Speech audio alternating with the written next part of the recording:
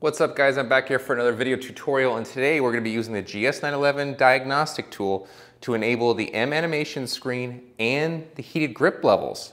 That's right, you can go different heated grip levels from 3 to 6 and you can also enable the M animation screen through the GS911 tool. So I'm to be showing you guys how to do that right now.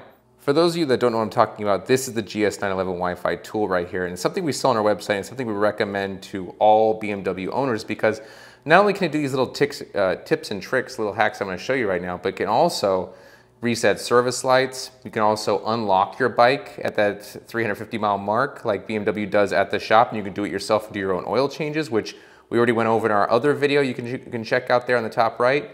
And we explained that BMW is actually okay with you unlocking your own bike as long as you do the proper mileage on it and you do the proper oil and you're keeping all your receipts and making sure everything's kept track of.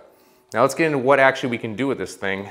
So this is the interface for the GS911 and you can see there's a lot of options here and we're on our 2023 BMW M1000RR. For this and I, will even go in here and show you guys, we can go to uh, engine controller for example, special functions, and we can even do full adaptation resets. This is amazing stuff right here. The throttle twist grip, mixture, knock sensors, you can reset the trans. I mean, you can even log with this thing. I mean, it has so many options, it's ridiculous. I'm just gonna show you guys a couple quick little hacks here like I promised you at the beginning of the video here. So first, let's go to instrument cluster.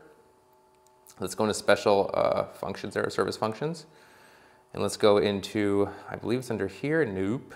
Let's go under coding functions. Startup animation right there, boom.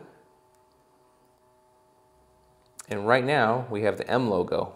We can do BMW Motorrad, Heritage Bagger, RTRR. I can select from all of these and it'll give me the same startup animation on a S1000RR, which is hilarious.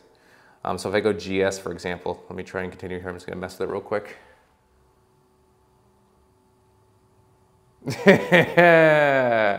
yeah, now we got a GS on the 23M1000RR startup animation. That's hilarious. So I'm gonna go ahead and put this back to stock. But just to show you guys how you can change it that easily on this thing, it's so easy.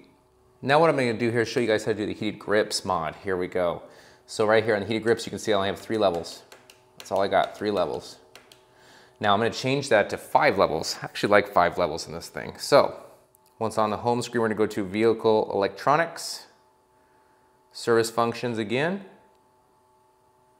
coding functions. Now I'm gonna go to heated grips. All right, there we go.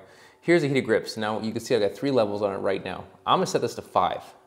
Check out this cool stuff though. When I go to continue, it asks me for what percentages for each. So level one will now be 25%, level two will be 50, level three will be 75, four 65, and level five will be 80%. I think that's cool.